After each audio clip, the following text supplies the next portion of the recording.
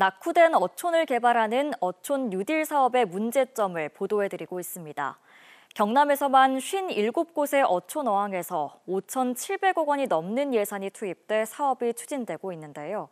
단기간에 동시다발적으로 사업이 추진되면서 사업 지연과 졸속 추진 등의 문제가 잇따르고 있습니다. 주우진 기자입니다. 창원시가 지난 2021년부터 어촌 뉴딜 사업을 하고 있는 삼기포구입니다.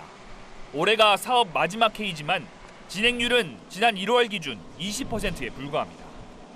삼기포구에 속한 4개 마을 주민들 요구를 조율하고 사업에 다시 반영하는 데 시간이 걸렸습니다. 또 수변광장 조성을 백지화하는 등 행정적인 문제에 부딪힌 일부 주요 사업들을 대폭 변경했습니다. 사업 준비가 부실했던 탓에 공모 선정 뒤 실제 사업 시행에서 큰 어려움을 겪은 겁니다. 다른 사업장에서도 비슷한 문제가 나타납니다. 경남에서만 단기간에 57곳에서 사업이 동시 추진되다 보니 사업 지연과 졸속 추진 등의 문제가 잇따르고 있습니다. 올해까지 57곳 모두 사업이 완료돼야 하지만 평균 진행률은 63% 정도이고 50%도 안 되는 사업이 19곳이나 됩니다. 추가 소용되는 비용이 발생하게 되고요. 그렇다 보니까 측정된 예산으로 그 사업을 하기 위해서 자체 숙소하거나 포기하는 경우가 발생하는 문제가 따르더라고요. 어촌 경제 활성화를 위한 특화 사업에 특색이 별로 없다는 것도 문제입니다.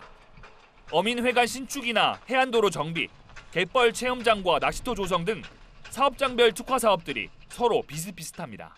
실제로 잘 된 곳에 가서 보시더라 해도 우리 지역과 어촌 뉴딜로 선정된 곳에 가장 적합한 곳을 찾아내야 되는데 거기에 대한 고민이 깊지 않은 것과 어촌 뉴딜 사업으로 경남의 사업장 57곳에 약 5,700억 원이 투입됩니다. 혈세 낭비의 대표 사업이 되지 않도록 예산 집행 실태 점검과 전담 인력 보강 등의 조치가 시급해 보입니다. KNN 주우진입니다.